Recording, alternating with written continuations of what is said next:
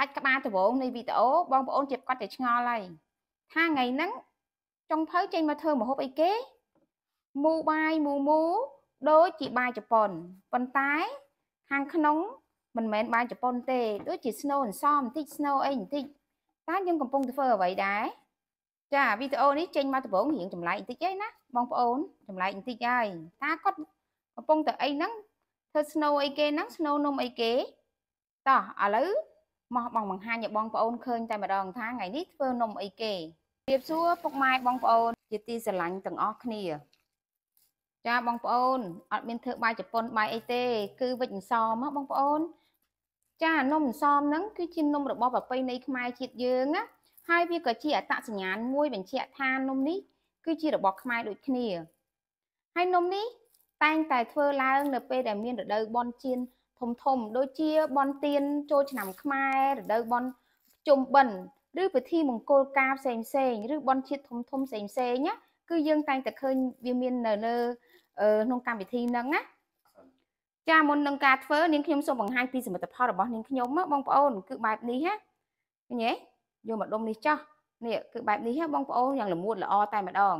តើកុំបងអង្គយូរនាងខ្ញុំសូមបង្ហាញពីវិធីធ្វើរបស់នាងខ្ញុំដូចតទៅ ចាក្នុងការវិចអន្សមហ្នឹងបងប្អូនជាដំបូងហ្នឹងគឺយើងត្រូវតែប្រឡាក់សាច់មុនគេដើម្បីអីបងប្អូនដើម្បីឲ្យសាច់យើងចូលជាតិបានល្អអញ្ចឹងយើងត្រូវប្រឡាក់សាច់អញ្ចឹងការធ្វើសាច់ហ្នឹងគឺខ្ញុំជ្រើសរើសជ្រូក3ជាន់ចំពោះសាច់ជ្រូក3ជាន់ឬក៏សាច់ខ្លាញ់សុទ្ធឬក៏សាច់កាត់ចោះសាច់សុទ្ធស៊ីសងទៅលើការចូលចិត្តរបស់បងប្អូនណាបងប្អូនចូលចិត្តបែបណាបងប្អូនដាក់បែបហ្នឹងទៅចំពោះសាច់ណាអត់កំណត់ថាត្រូវតែខាតត្រូវយកខ្លាញ់ជ្រូកឬដាច់ខាតត្រូវយកសាច់ អឺ3ជាន់ដូចនាងខ្ញុំទេបងប្អូនចូលចិត្តបែបណាយកបែបហ្នឹងទៅណាហើយការកាត់ក៏កាត់តាមតម្រូវការបងប្អូនបើបងប្អូនវិចអន្សមអឺតូចកាត់តាមតូចតាមទំហំបងប្អូនជ្រើសរើសអ្នកខ្លះអាចដាក់ទៅវែងទៅវែងវែងជាងខ្ញុំអញ្ចឹងណាតែខ្ញុំកាត់វិចអន្សមខ្ញុំហ្នឹងគឺខ្ញុំអត់វិចធំពេកទេដោយសារខ្ញុំអត់មានឆ្នាំងស្ងោធំធំពេកទេអញ្ចឹងខ្ញុំយកមកល្មមមកល្មមហើយសាច់ខ្ញុំក៏វះទៅតាមទំហំអន្សមរបស់ខ្ញុំដែរគឺខ្ញុំយកស្រុកឲ្យជន់ហើយខ្ញុំវះមកអញ្ចឹងណា ចាក្នុងការប្រឡាក់សាច់ដើម្បីធ្វើអន្សមហ្នឹងណាគ្រឿងដែលសំខាន់គឺខ្ទឹមសហើយម្រេចដើម្បីធ្វើឲ្យស្នូអន្សមយើងមានរសជាតិឆ្ងាញ់ណាបងប្អូនត្រូវដាក់ខ្ទឹមសឲ្យច្រើនម្រេចបងប្អូនដាក់តាមការចូលចិត្តអញ្ចឹងណាចាអានេះម្រេចគ្រាប់របស់ខ្ញុំខ្ញុំអត់ប្រើម្រេចម៉ត់ទេខ្ញុំចង់ឲ្យអន្សមហ្នឹងមានម្រេចគ្រាប់ដុំដុំញ៉ាំទៅប៉ះម្រេចគ្រាប់ហ្នឹងឆ្ងាញ់ណាអញ្ចឹងខ្ញុំបុកអញ្ចឹងហើយបងប្អូនមិនបុកឲ្យតែម៉ត់ពេកទេមកល្មមទៅដែលដាក់ថាប្រឡាក់សាច់ចូលជាតិណា ចាខ្ទឹមសកញ្ចឹងដែរខ្ញុំដាក់មួយមើមបងប្អូនចូលចិត្តប៉ុណ្ណាដាក់ប៉ុណ្ណឹងទៅតាមការចូលចិត្តណាចាបងប្អូនយើងបុកបានប៉ុណ្ណឹងណាប៉ុណ្ណឹងបានណាខ្ញុំយកមកប៉ុណ្ណឹងណាតោះយើងទៅប្រឡាក់សាច់ជូបយើងទុកចាឥឡូវសាច់យើងចំនួនកន្លះគីឡូហ្នឹងណាយើងយកមកប្រឡាក់យើងដួសគ្រឿងដែលយើងបុកមិញណាម្រេចខ្ទឹមសមិញមកដួសដាក់ចូលមកចាគីឲ្យអស់ទៅបន្ទាប់មក ខ្ញុំដាក់អំបិលចំនួន1ស្ព្រាហើយថែមកន្លះស្ព្រាកាហ្វេទៀតអញ្ចឹងមិនន័យថាអំបិលហ្នឹងមួយស្ព្រាកាហ្វេកន្លះណាបន្ទាប់មកស្ករសខ្ញុំដាក់ចំនួន3ស្លាបព្រាហើយជាមួយនឹងម្សៅស៊ុបម្សៅស៊ុបខ្ញុំដាក់មួយស្ព្រាថែមកន្លះទៅចាយើងច្បល់សាច់ហ្នឹងទៅបងប្អូន ច្បាច់វាឲ្យសប់សាច់ណា ចំពោះការប្រឡាក់សាច់នឹងបងប្អូន គឺយើងអត់ទៀមទីឲ្យសាច់នឹងផ្អែមមុតប្រៃមុតទេបងប្អូន គឺប្រៃឡំឡំផ្អែមឡំឡំអ្វីដែលសំខាន់គឺឈ្ងុយខ្ទឹមសហើយនឹងម្រេចណាព្រោះអីអឺយើងនៅមានអឺអង្គតណើបយើងហ៎អង្គតណើបយើងហ្នឹងគឺមានលាយគ្រឿងដូចគ្នា ចំពោះស្នូដូចគ្នាបងប្អូនពេញចិត្តដាក់ថែមសាច់ក្រកហើយនឹងថែមពងទាប្រៃទៀតក៏បានដែរអញ្ចឹងណាតាមការចូលចិត្តតែថ្ងៃនេះនាងខ្ញុំ មកវិចបែបលក្ខណៈធម្មតាធម្មតាបែបក្បួនបុរាណណាគឺមានតែស្នូសណ្ដែកជាមួយនឹងសាច់ជ្រូកគេតោះឥឡូវយើងច្បាច់ហើយណាបងប្អូនពេលយើងច្បាច់អញ្ចឹងហើយយើងតម្រៀបរបស់យើងមកយើងតម្រៀបពលាវាលាលាទៅស្រួលយើងរៀបដើម្បីដាក់ចូលវិចនំហ្នឹងក៏វាស្អាតដូចគ្នាហ៎អញ្ចឹងខ្ញុំតម្រៀបដាក់ចូលចានថ្មីមកហើយខ្ញុំយកដាក់ចូលទូទឹកកកខ្លះសេទុកមួយយប់ការប្រឡាក់សាច់ហ្នឹងបងប្អូនបងប្អូនអាចប្រឡាក់សាច់ ទុករយៈពេល4ម៉ោងហើយយកទៅវិចក៏បានឬដាក់មួយយប់រឹតតែល្អដើម្បីឲ្យចូលជាតិណាចាឥឡូវយើងរៀបចំរួចរាល់ហើយណាអញ្ចឹងយើងគៀខ្ទឹមដែលសល់ហ្នឹងមកដាក់ចូលមកចាឥឡូវរួចរាល់ហើយខ្ញុំដាក់ខ្លះសេមួយយប់ចាំស្អែកឡើងចាប់ដើមវិចអន្សមចានេះគឺអង្ករខ្ញុំខ្ញុំត្រាំបានមួយយប់ណាអង្ករនេះគឺមានទម្ងន់1គីឡូអញ្ចឹងខ្ញុំត្រាំបានមួយយប់ហើយ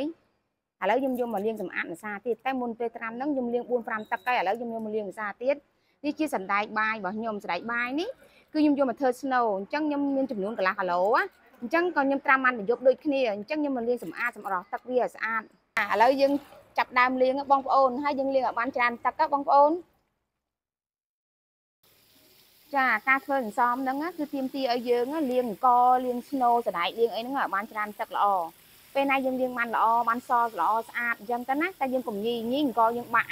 អញ្ចឹងយើងលាងត្រូវថ្នមដែរតែលាងឲ្យស្អាតពេលណាលាងបានស្អាតល្អអញ្ចឹងទៅសន្សំយើងអត់ងាយខូចអត់ងាយប្អូមណាចាសដែកដែលយើងលាងមិញដាក់ឲ្យស្រស់ទឹកល្អហ្នឹងយើងយកមកដាំដាំដូចដាំបាយអញ្ចឹងបងប្អូនចាយើងដាក់ឲ្យលិចសដែកទៅប៉ុណ្ណឹងបានហើយបន្ទាប់មកយើងដាក់អំបិលមួយស្ព្រាកាហ្វេបងប្អូនឲ្យសដែកយើងមានជាតិណាសាច់យើងមានជាតិហើយសាច់ប្រឡាក់យើងណាចា បាត់នេះទៅហើយយើងក្របដាក់ដាំដូចដាំបាយអញ្ចឹងតែឥឡូវវាពុះណាបងប្អូនប្រយ័ត្នតិចវាអាចខុលណាកន្លែងនេះវាអាចខុលហើយបងប្អូនកូរវាអញ្ចេះមកឲ្យវាសប់ល្អណាហើយយើងដាក់ធ្វើដូចដាំបាយអញ្ចឹងបងប្អូនចាំពេលវារីងយើងផ្ងុំវាឲ្យឆ្អិនការធ្វើបែបនេះបងប្អូនការស្ងោរអង្សមយើងគឺល្អប្រើរយៈពេលខ្លីហើយអង្សមយើងរលាយគ្នាចូលសាច់ជាមួយគឺល្អ ចាឥឡូវយើងផ្ងុំវិញទៅពេលទឹកពុះរីងហើយយើងផ្ងុំដូចផ្ងុំបាយអញ្ចឹងណាឲ្យឆ្អិនសិនយើងផ្ងំអឺសណ្ដែកហ្នឹងបងប្អូនឆ្អិនហើយឥឡូវយើងបិទភ្លើងទៅហើយយើងដួសទុកម្ល៉េះសិនចាយើងចាក់ទុកឲ្យត្រជាក់ទៅបងប្អូនចាំយើងពូនជាដុំជាដុំណាចាជាដំបងដើម្បីយើងយកអង្គមកឆានេះជាខ្ទិះដូងស្រស់របស់ខ្ញុំណាបើបងប្អូននៅក្រៅប្រទេសអត់មានខ្ទិះដូងស្រស់ទេបងប្អូនអាចប្រើខ្ទិះដូងកំប៉ុងក៏បានដែរ ខ្ទិះដូងស្រស់នេះខ្ញុំយកចំនួនអឺកន្លះគីឡូពេលមិនទាន់គៀបជាខ្ទិះដូងជាទឹកខ្ទិះណាហើយខ្ញុំឲ្យពេលគៀបហ្នឹងជាលក្ខណៈកុំឲ្យទឹកទឹកច្រើនពេកខ្ញុំយកទឹកលាយជាមួយនឹងទឹកសាបបន្តិចបានហើយក្បាលខ្ទិះនិងទឹកទី2ហ្នឹងចូលគ្នាអត់ឲ្យគៀបដាច់កន្លែងទេណាហើយមិនដាក់ទឹកច្រើនទេបងប្អូនសំខាន់ពូតឲ្យអស់ខ្ទិះ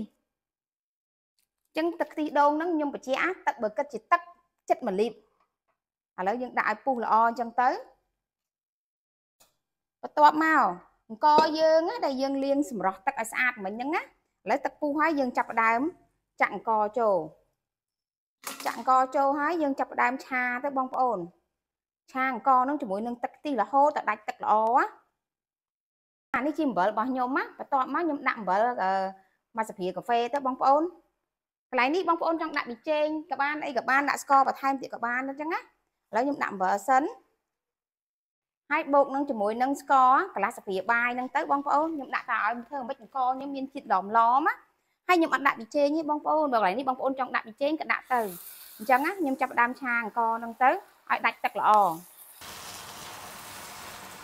ចាយើងឆាអង្គហ្នឹងតដាច់ទឹកល្អអញ្ចឹងណាបងប្អូនគឺបងប្អូនឃើញណែប្រេងឡើងលើបរលោងហ្មងអង្គយើងឃើញទេទៅវិញទៅវិញហើយឡើងរលោងហើយឈ្ងុយដងមែនតែន ដាច់ទឹកប៉ុណ្ណឹងទៅបានទេបងប្អូនបិទភ្លើងទៅនេះហើយយើងមកចាំរៀបចំវិចណាទុកឲ្យត្រជាក់ហើយរៀបចំវិចបានហើយឃើញទេតោះចាក្រោយពេលជួតហើយខ្ញុំឃើញថាស្លឹកចេកនឹងវាកកាច់ខ្លាំងហ៎អញ្ចឹងខ្ញុំត្រូវដូកវិធីសាស្ត្រវិញគឺខ្ញុំត្រូវយកមកលាងលាងសម្អាតតែម្ដងបាញ់ទឹកលាងឲ្យបានស្អាតទៅបន្ទាប់មកចាំខ្ញុំយកទៅហាថ្ងៃចាខ្ញុំយកមកដាក់5ថ្ងៃអញ្ចឹងណាដាក់ថ្ងៃឲ្យចំល្អអញ្ចឹងណាស្ទុះទៀតវាស្ងួតហើយវាទន់ហើយដាក់ឆាចោលអញ្ចឹងទៅ ចាស្លឹកហ្នឹងក្រោយពីពេលដែលខ្ញុំលាងសម្អាតឲ្យស្អាតបានស្អាតហើយហើយខ្ញុំបានយកទៅហាហើយណាបងប្អូនឃើញទេវារៀងរួញរៀងអីហ្នឹងណាហ្នឹងហើយអញ្ចឹងខ្ញុំចូលមកចាប់ដើមមករៀបចំក្នុងការកាត់តម្រឹមស្លឹកហ្នឹងឲ្យបានស្អាតចំពោះប្រវែងគឺខ្ញុំអត់កំណត់ឲ្យបងប្អូនកាត់ប៉ុន្មានអីប្រមាណទេតាមទំហំបងប្អូនវិចអន្សមណាវិចទៅឲ្យតាមភាពជាក់ស្ដែងរបស់ស្លឹកផងបងប្អូនមួយមួយហើយចំពោះស្លឹកគឺខ្ញុំអត់ចោលទេតូចធំគឺខ្ញុំយកទាំងអស់ ខ្ញុំយកមកឆ្នៃដូចអាទូចទូចលហែកអញ្ចេះគឺខ្ញុំយកមកទុកគ្រប់ក្បាលអន្សមណាចំណែកធំធំខ្ញុំទុកវិចអន្សមមួយទាំងមូលធ្វើតួអន្សមហើយអាកតិកតិចខ្ញុំទុកយកដាក់ស្ងោរជាមួយអន្សមណាគឺបែបនេះចាបងប្អូនឥឡូវយើងចាប់ផ្ដើមមកពូនស្នូពូនធ្វើស្នូការធ្វើ snow បែបនេះគឺសម្រាប់អ្នកអត់ចេះសោះគឺក៏វិចបានដែរងាយស្រួលអញ្ចឹងណា ឥឡូវយើងដាក់សណ្ដែកចេះមកនេះបងប្អូនបើមានសម្រាប់វិចបាយសប៉ុនណាបាយស៊ូស៊ីដូចនាងខ្ញុំអញ្ចឹងរត់ទៅស្រួលទៀតបងប្អូនវត្ត snow មកឲ្យស្មើស្មើគ្នាទៅបន្ទាប់មកខ្ញុំធ្វើអញ្ចេះបែបនេះមកនេះឃើញទេចេះមកបងប្អូនស្រឡាញ់ស្នូប៉ុណ្ណាបងប្អូនដាក់ស្នូប៉ុណ្ណឹងទៅហើយបើបងប្អូនចង់បានស្នូធំវែងជាងខ្ញុំបងប្អូនទិញអាឈើណាធំទៅបន្ទាប់មកនេះសាច់ជ្រូករបស់ខ្ញុំ ខ្ញុំដាក់ស្នូមកស្នូសាច់ជ្រូកនេះបងប្អូនដាក់ម៉ានដាក់ទៅដាក់តាមការចូលចិត្តបងប្អូនលៃថាមិនមកគ្រប់ណាគឺបែបនេះហ៎បងប្អូនបន្ទាប់មកខ្ញុំដាក់ពីលើមកថែមទៀតមកបន្តិចថែមទីទៀតស្នូរយវាតិចមកគឺបែបនេះណាសម្រាប់អ្នកអត់ចេះវិចដបងដបងគឺស្រួលវិធីនេះណាហើយធ្វើលឿន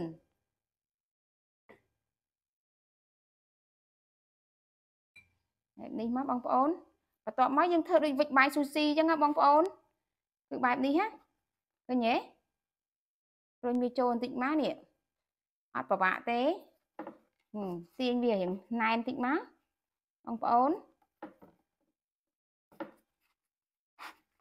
បន្ទាប់មកបងប្អូនយកអារ៉ាបុកអង្សមហ្នឹងបុកគល់គល់នេះឲ្យឲ្យវាណែនណាគឺបែបនេះមកត្រឡប់វានៅខាងចុងមួយទៀតមកយើងបុកឲ្យណែនទៅ កុំឲ្យវារាយធ្លាក់បែកអញ្ចឹងណាចាតែប៉ុណ្្នឹងឯងបងប្អូន ចាប់ដើមមកឃើញទេស្អាតទេបងប្អូនស្អាតណាស់អង្សមវិចនេះយើងណាឃើញទេបែបនេះមកហើយមួយយើងយកទុកសិនចាឥឡូវយើងចាប់ផ្ដើមវិចអន្សមយើងណាស្លឹកបងប្អូនឆ្នៃតាមនឹងទៅបងប្អូនបែបនេះណាដាក់អញ្ចឹងមក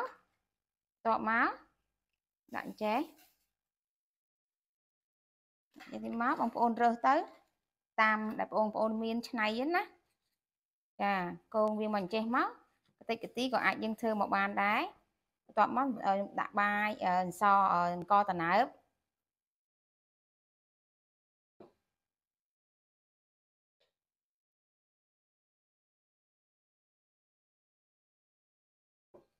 យើងរៀបរបស់យើងប៉ុណ្ណឹងមកណាដាក់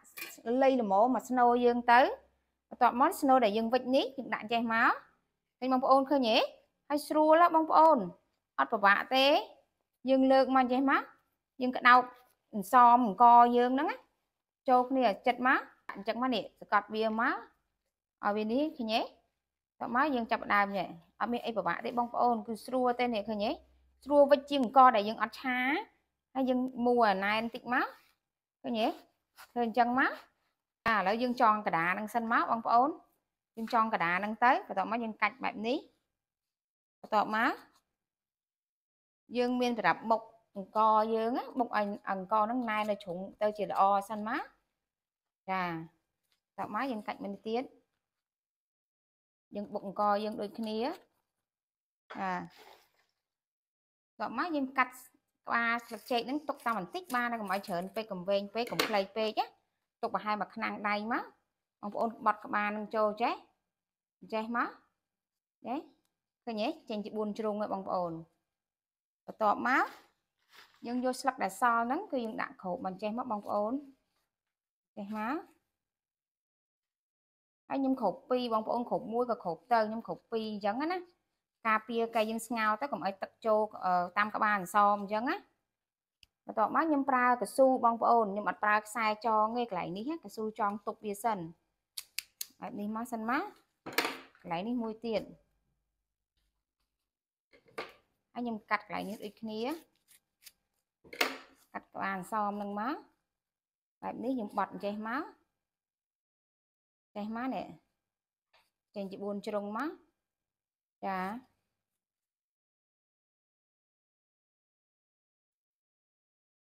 ចឹងមកមកដាក់កន្លែងនេះមួយទៀតមកបងប្អូនខ្ញុំវិចអន្សមចងវាមិនសូវស្អាតទេតែបើរសជាតិវិញសូមមកឆ្ងាញ់ណាបងប្អូនព្រោះយើងមិនអ្នកជំនាញវិចអន្សមរាល់ថ្ងៃអញ្ចឹងណាអញ្ចឹងការវិចរបស់យើងហ្នឹងគឺវាអត់បានស្អាត perfect ទេបងប្អូនគឺបែបនេះខ្ញុំចងអញ្ចឹងមកឃើញទេចងអញ្ចឹងទៅដាក់ឲ្យកោច្រើនគ្នាទៅចាំបងប្អូនចាប់តាមចងខ្សែម្ដងក៏បានដែរចា បបន្ទាប់មកយើងយកខ្សែរៀងវែងតិចមកបងប្អូនណាស្មានតែត្រូវសមយើងមកបន្ទាប់មកខ្ញុំចងបែបនេះចាចងក្បាលវាហិតវាមកល្មមបងប្អូនកុំហិតខ្លាំងពេកពេលណាបងប្អូនហិតខ្លាំងពេកទៅនឹងសមរីកក៏វាពិបាកហើយបើបងប្អូនរឹតធូរពេកអឺពេលសមរីកទឹកចូលក៏វាធ្វើឲ្យអន្សមយើងខូចគុណភាពដែរអានេះយើងចងក្បាលអន្សមសិនទៅណានេះបងប្អូនគឺចងបែបនេះ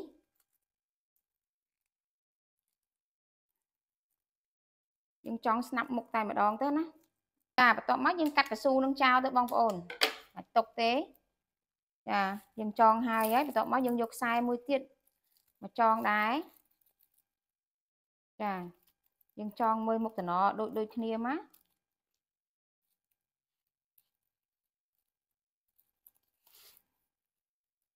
បែបនេះចងមុខតំណមកណា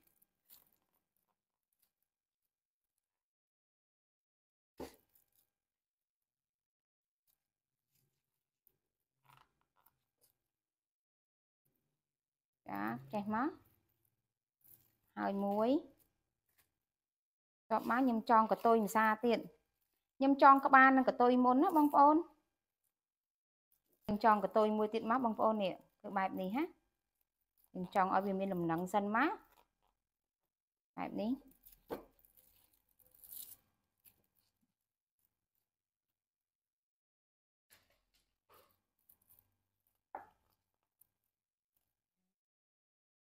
ចង់ស្នាប់មុខតែម្ដងបែបនេះហ៎បងប្អូនចាចាបន្ទាប់មកខ្ញុំចងកដាខ្លួនម្ដងអញ្ចឹងណានេះជាវិធីចងរបស់ខ្ញុំដែលមិនសូវពូកែវិចណាពុំមិនពូកែចងមិនពូកែវិចអន្សមប៉ុន្តែចំពោះគ្រឿងអន្សមវិញធានារសជាតិអន្សមគឺធានាគឺឆ្ងាញ់ណាបងប្អូនចាយើងចងអញ្ចឹងទៀតទៅហើយកម្លាំងដៃយើងអត់យក100%ណាបងប្អូនគឺមកតឹងល្មម អញ្ចឹងណាចាបន្ទាប់មកគឺខ្ញុំចាប់ដើមចងមកកង់ទៀតណានៅខាងកតុយខាងនេះដែរបែបនេះ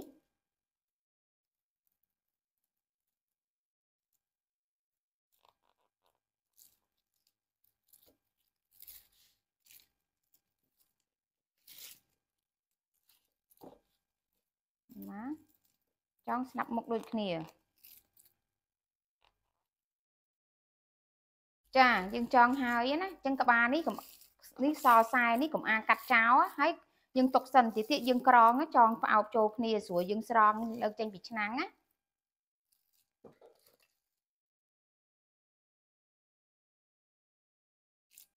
ចាពេលដែលយើងវិចអន្សមហើយបងប្អូនក្បាលអន្សមនេះបងប្អូនក្រងក្បាលវិញក្បាលទៅតាមបងប្អូនចេះធ្វើម៉ូតណាបងធ្វើម៉ូតនឹងទៅហើយការវិចនឹងមិនមែនថាឲ្យស្អាតឲ្យល្អអីទេ គឺយើងវិចចូលគ្នាទៅដើម្បីយើងស្រួលអឺស្រង់ចេញពីឆ្នាំងពេលយើងស្ងោរឆ្អិនណាចាពេលយើងក្រងហើយអញ្ចឹងយើងកាត់ទៅណាបងប្អូន យើងកាត់អឺខ្សែហ្នឹងឲ្យស្អាតទៅ កាត់ឲ្យល្អអញ្ចឹងណាប៉ុណ្ណឹងទៅហើយកុំកាត់គៀកពេកខ្លាចវារបូតចំណងណាបន្ទាប់មកយើងចងគួនវាទៅ ដើម្បីពេលយើងស្ងោរហើយយើងស្រង់ទៅស្រួលស្រង់ ត្រង់តែតពុតាខ្សែហ្នឹងគឺមកតែម្ដងណាបងប្អូនគឺបែបនេះណាចាអញ្ចឹងយើងចាប់ផ្ដើមមកដាំទឹកណាបងប្អូនដាំទឹកទៅពេលយើងស្រង់មកចែកឃើញទេស្រួលណាពេលទឹកពុះហើយខ្ញុំចាប់ផ្ដើមដាក់អឺស្លឹកដែលកតិកតិចនៅសល់ហ្នឹងដាក់ចូលហើយដាក់អន្សមចូលពេលទឹកពុះមកយើងដាក់អន្សមចូលបងប្អូនយើងអត់អាចដាក់ពេលដែលទឹកអត់ទាន់ពុះទេណាហើយអន្សមទឹកហ្នឹងយើងត្រូវដាក់ឲ្យលិចអន្សមទើបបានស្ងោរបានអន្សមល្អណា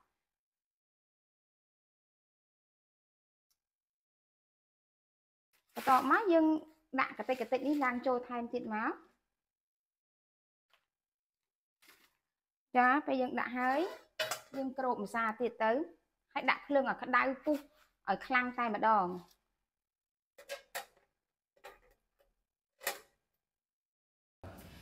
ឥឡូវអន្សមខ្ញុំខ្ញុំងាស់ស្ងោបាន2ម៉ោងកន្លះហើយបងប្អូនណាឥឡូវយើងចាប់ដាំស្រង់ចានេះស្រង់មកយើងចាប់ដាំយកអា ក្បាលចំណងខ្សែរបស់យើងហ្នឹងណាតពួកវាអញ្ចឹងមកគឺបាននេះអញ្ចឹងបានពេលយើងធ្វើអន្សមគឺចាស់ចាស់ពីដើមគាត់ចងអាក្បាលចំណងខ្សែហ្នឹងណាគឺទុកសម្រាប់ស្រួលស្រងស្រងឡើងមកអញ្ចឹងណាបងប្អូនចាអន្សមដែលយើងស្ងោរឲ្យភ្លាមភ្លាមបងប្អូនមិនអាចកាត់ញ៉ាំបានភ្លាមភ្លាមទេណា ហើយបងប្អូនត្រូវអត់ដាក់ក្នុងកញ្ឆេងឬក៏ថាហេវាធ្វើឲ្យខូចទម្រង់អន្សមអញ្ចឹងបងប្អូនត្រូវយកអន្សមមកបញ្យួរអញ្ចេះដើម្បីឲ្យអន្សមយើងបានរូបរាងស្អាតណារហូតដល់ត្រជាក់ទៅអន្សមនឹងរាងរឹងទៅយើងអាចកាត់បានឬដាក់យើងរក្សាទុកក្នុងកញ្ឆេងបានឥឡូវអន្សមខ្ញុំខ្ញុំស្ងោរពីងាកមិញហ៎ឥឡូវខ្ញុំដាក់បញ្យួរអញ្ចឹងមកយប់ឃើញទេរូបរាងនៅតែដដែលរក្សារូបរាងដដែល ប្រហែលស្អាតអញ្ចឹងហើយក៏ត្រជាក់ល្អដែរឥឡូវខ្ញុំចាប់ដាំកាត់អន្សមឲ្យជូនបងប្អូនមើលអូយបងប្អូនឃើញទេនេះអន្សមខ្ញុំស្ងោររយៈពេលយូរមែនប៉ុន្តែសាច់អន្សមខ្ញុំបងប្អូនមើលឲ្យហើយ